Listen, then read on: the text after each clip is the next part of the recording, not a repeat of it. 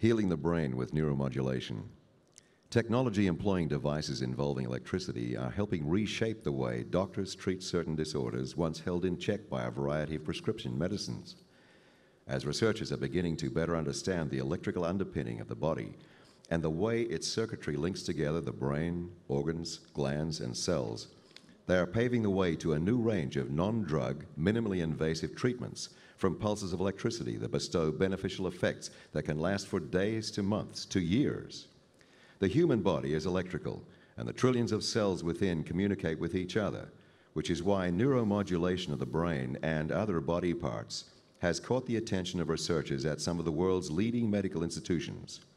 Scientists are now looking at a variety of ways using electroceuticals, a category of low powered electrical devices that can either be placed on the skin or else implanted just below it to treat disorders ranging from depression and chronic pain to Parkinson's disease and post stroke paralysis, all without the use of drugs.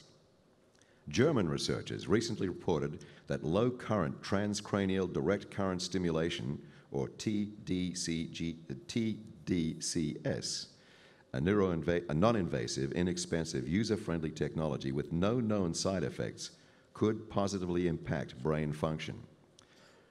Some small studies report that this therapy can relieve chronic pain and the symptoms of depression, Parkinson's, and schizophrenia, while others claim that it can improve working memory, learning, vigilance, and intelligence.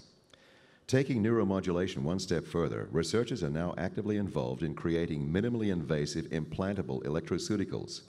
Instead of targeting cells with drugs, these novel miniature implantable devices send electrical impulses to major nerves to alert commands that an organ receives, thereby controlling its function.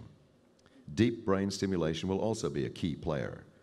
While almost any circuit in the brain can be modulated to alter, restore, enhance function, understanding the anatomy and physiology of these circuits and the best electrical mechanism by which to modulate them is the challenge that lies ahead, and where healing the brain with neuromodulation is definitely headed. So for this exciting area, we're fortunate to have a pioneer uh, with us, Dr. Rees Cosgrove.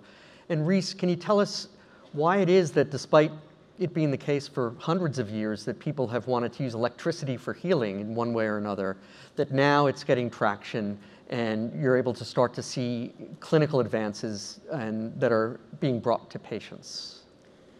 Well, the reason is, is because it works. And uh, the proof of that is that there's probably close to 150,000 people with these so-called brain pacemakers walking around the world today. So it's FDA approved for Parkinson's disease, dystonia, and tremor. And there's a lot of investigational work in the field of neuropsychiatry and depression, OCD, Tourette's, addiction, uh, PTSD, anorexia. These are all conditions that we look at as circuit disorders. And the beauty of a technology that can go in, if you understand the anatomy and physiology of that circuit and where it's located, that you can modulate it and just modulate that circuit and not anything else. So I think the challenge ahead of us is not just by doing it with an implantable electrode, but can we do this non-invasively or different kinds of electrodes that we don't have to actually place into the brain but still get the same benefits.